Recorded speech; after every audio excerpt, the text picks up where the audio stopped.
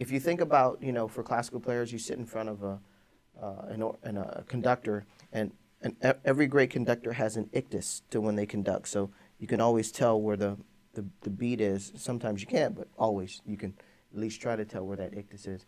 Well, as a, as a player, we want to, for jazz, we want to start to get an ictus to our attack.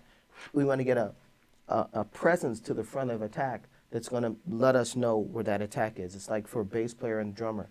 Bass player wants to get a good ictus on their attack when they play the note so that the drummer knows exactly where to place, you know, his or her beat.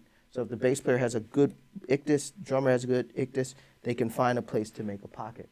Whereas a, as a trumpeter, we want to have an ictus, we want to have a pop.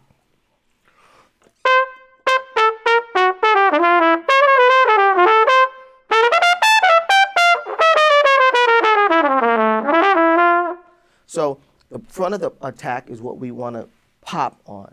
And for the most part, most part, you know, except for for flowing a line, we can stop the end of our attacks.